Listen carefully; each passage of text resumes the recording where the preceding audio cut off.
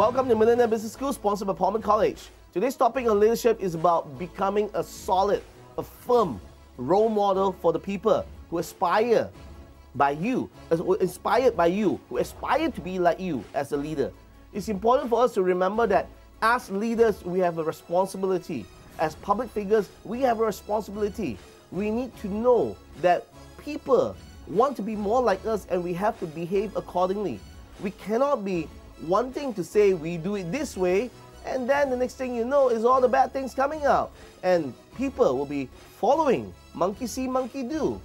So it's important for us as leaders as teachers as educators as bosses.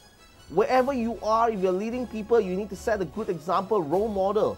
Be the first one to work harder than everyone else. Be the first one to take on those challenges. Be the first one to move forward and lead the whole team and the whole pack moving forward if you're able to provide that great role model and example, people will follow suit and people will listen and learn from you.